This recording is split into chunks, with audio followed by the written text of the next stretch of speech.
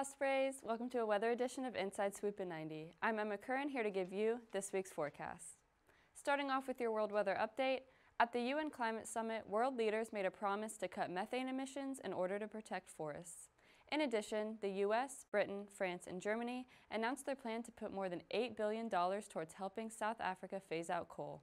So far, more than $19 billion have been pledged to help achieve these goals.